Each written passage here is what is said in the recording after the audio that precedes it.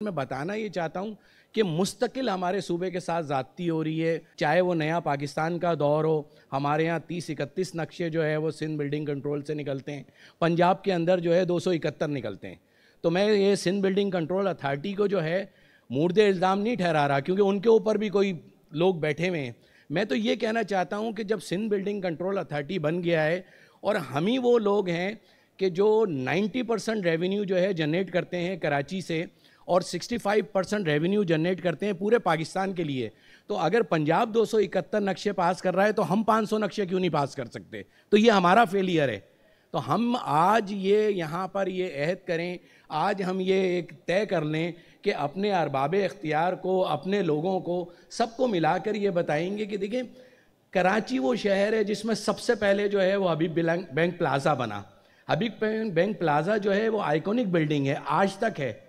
आज हमारे यहाँ ही जो है वो एक बिल्डिंग तामीर होने होने के साथ साथ जो है वो रुकी हुई है। वो 65 स्टोरीज बिल्डिंग है।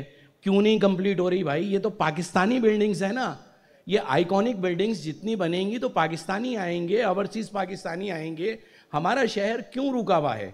हमको वो वजह तलाश करनी है, वही वजह अपने अरबाब इख्तियार को आगे पहुँचानी है कि खुदारा शहर सारे पाकिस्तान के हैं।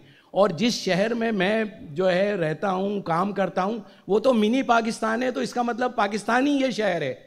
तो इसके साथ जो है वो नाइंसाफ़ी नहीं होनी चाहिए, इसके यूथ के साथ नाइंसाफ़ी नहीं होनी चाहिए, इसके अंदर जो चीज़ें हम बिल्ड कर रहे हैं, उनको कम से कम कंप्लीट तो होने दें। हमारा के फोर है, वो पिछले 20 साल से जो है, वो पता नहीं किस तरीके से जो है कब कंप्लीट होगा।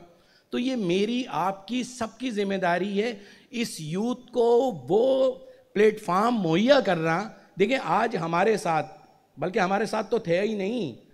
आप पिछहत्तर का दुबई देखें और पिछहत्तर का कराची देखें तो आपकी जो है वो आँखें दंग रह जाएँगी कि वो सब यहाँ आकर इन्वेस्टमेंट करते थे।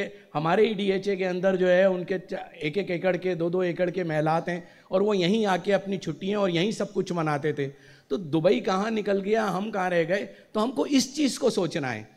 आज बैठ के अगर हमने यूथ के लिए प्लेटफॉर्म मुहैया नहीं किया तो कल फिर हम हम हो ना हो, जो भी होगा वो यही कहेगा कि यार हम किधर खड़े हैं। तो प्लीज़ इस ब्रेन ड्रेन को रोकें, इस यूथ को संभाल लें यहाँ पर बहुत टैलेंट है, हम बहुत कुछ कर सकते हैं और करने का हौसला भी रखते हैं।